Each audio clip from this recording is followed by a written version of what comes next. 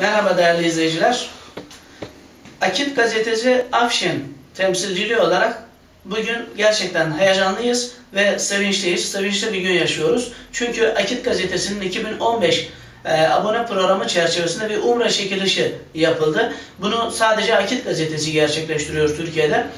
E, inananların yüz akı sloganıyla yayın yapan gazetemiz e, bu çekilişi yaptı ve çekiliş sonrasında Afşinli bir hemşerimiz de bu çekilişte Umre hakkı kazandı. Kendisiyle birlikteyiz. Bizleri ziyarete geldi. Hoş geldiniz efendim. Hoş bulduk. Tanıyabilir miyiz sizleri? Ben e, Avşin Çoğanbeyli kasabasından Osman Mert bir kamu kuruluşunda çalışıyorum. E, abonem neticesinde bu şans bize güldü diyelim.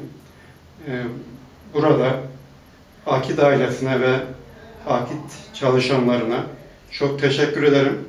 Bu kampanyanın da devamını diliyorum. Peki ne kadar bir süredir akit okuyorsunuz abi? 15 yıldan beri de aşağı yukarı Akit okurum. Değerli izleyiciler, Akit gerçekten çok farklı bir gazete. Her zaman için her dönemde dik duruşuyla tanıdığımız bir gazete.